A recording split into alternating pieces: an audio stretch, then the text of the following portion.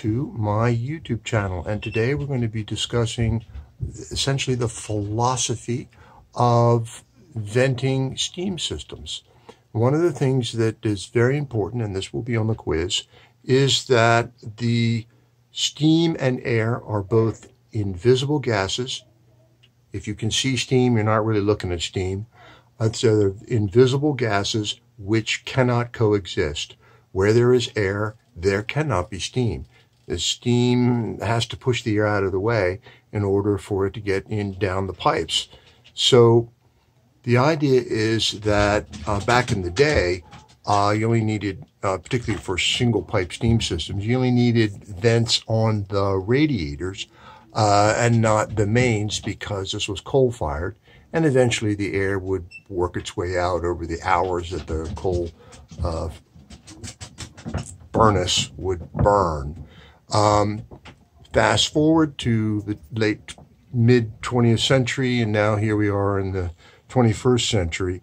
You're going to need to figure out some way of getting the air out of these uh, long mains because what tends to happen is the radiators uh, furthest away won't heat um, when the thermostat is satisfied.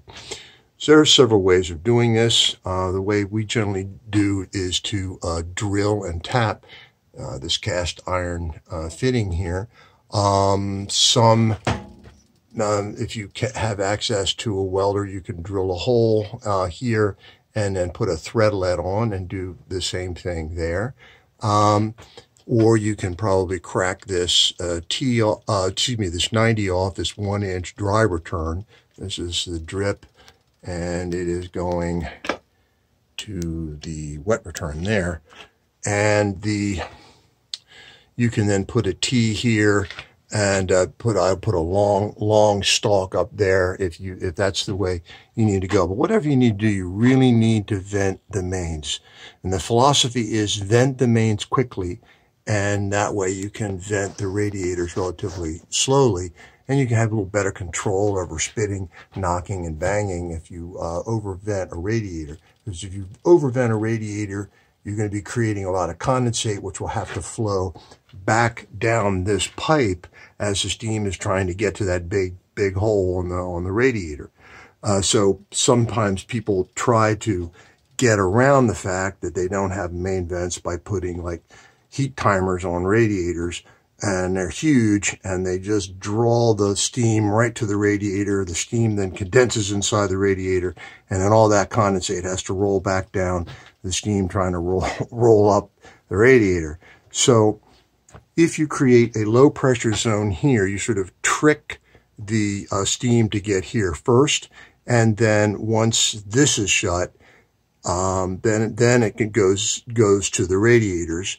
Uh, so it's a sort of two-step, three-step process. That made any sense. Um, so one of the ones we like um, is the Gorton number two. Uh, you don't need all of this all the time, but if you have long main vents, sometimes you can gang these up.